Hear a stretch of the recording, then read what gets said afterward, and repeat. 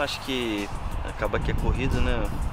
Durante o ano tem essas oscilações, semana cheia, semana quando tem jogos sábado, quarta, é, começa a ficar muita correria, mas acho que voltam aí 10 rodadas. Então, semana cheia é bom que tem tempo para recuperar, né? Tem muitos viram aí alguns jogadores lesionados, outros com algum incômodo, eu fui um desses. Mas agora todo mundo recupera bem para essa reta final.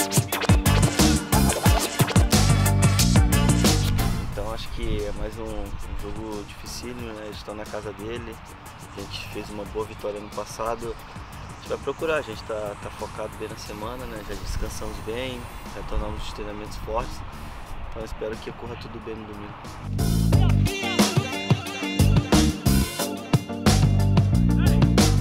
23 anos de clube, né? Vou, vou encaminhar para fechar o terceiro ano de clube, então acho que primeiro ano e 2019 e 20 teve uma, uma leva de bastante jogadores experientes, né? Esse ano acho que tem, tem, como você falou, tem mesclado muito. Eu acredito que tem muitos jovens ali da faixa de 20, 21 anos. Mas isso também é um trabalho nosso interno, né? Dos mais experientes, de, de, de botar os meninos no trilho, é, é tá ajudando, suporte quem chega. Né? Então acho que e a gente tem dado resultado também, então acho que essa, essa caminhada junto com os experientes, mais novos aí está sendo legal.